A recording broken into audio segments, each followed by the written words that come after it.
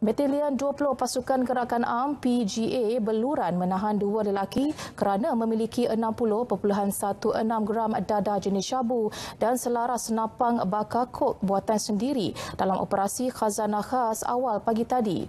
Pegawai pemerintahnya ACP Muhammad Nasaruddin M. Nasir berkata dua lelaki itu iaitu seorang rakyat tempatan berumur 30-an dan seorang lagi pendatang tanpa izin dipercayai warga Filipina berumur 20-an ditahan di perkampungan air paya bakau di Kampung Melayu Bakau. Di sini kira-kira 1.30 minit pagi.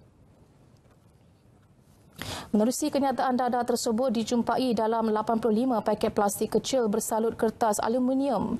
Turut dirampas ialah 4 biji peluru penabur, alat penimbang digital, 4 gulung kertas aluminium, sebilah parang dan wang tunai pelbagai jenis mata wang seperti peso Filipina, rupiah Indonesia, dolar New Zealand dan dolar Hong Kong.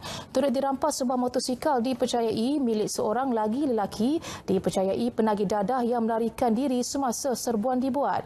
ACP Muhammad Nazaruddin berkata tangkapan dan rampasan dibawa ke Ibu Pejabat Polis Sandakan untuk siasatan di bawah Seksyen 8 Atas Senjata Api 1960, Seksyen 6 Kurungan 1 Kurungan C Atas Immigration 1959 Palang 63 dan Seksyen 39B Atas Dadah Berbahaya ADB 1952.